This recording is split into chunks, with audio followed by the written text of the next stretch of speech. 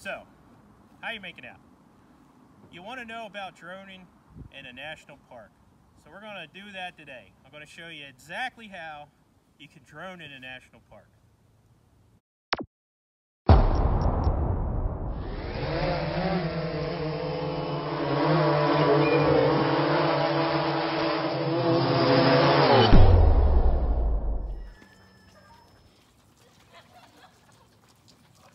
All right, so the first thing we're going to do is uh, check the hover app, see what it has to say. Right now it says caution. We'll see caution, no fly zone. We'll go down to the map. Why is it a no fly zone? Because we're in the heart of a national park. So I'll show you around that. We'll be able to drone. You just wait and see.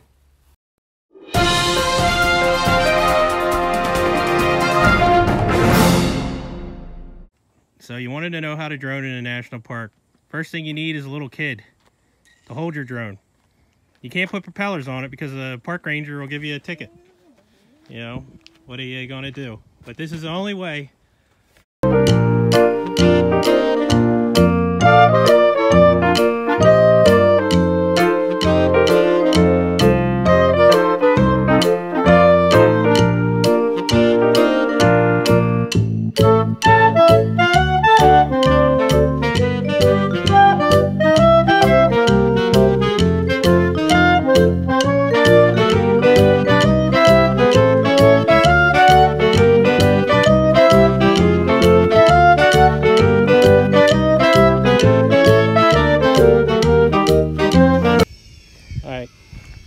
So one of the things is, is that uh, a lot of locations that are no-fly zones, DJI has them geo-fenced, which means the software won't allow you to take off.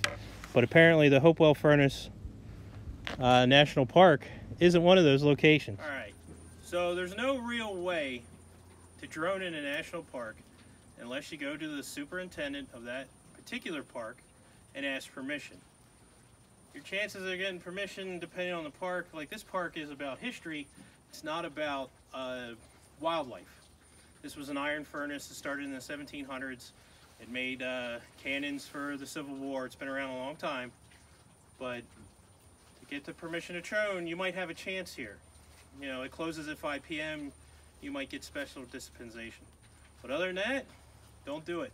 Federal government doesn't mess around when they start uh, fining all right, so we decided to go somewhere where you could drone.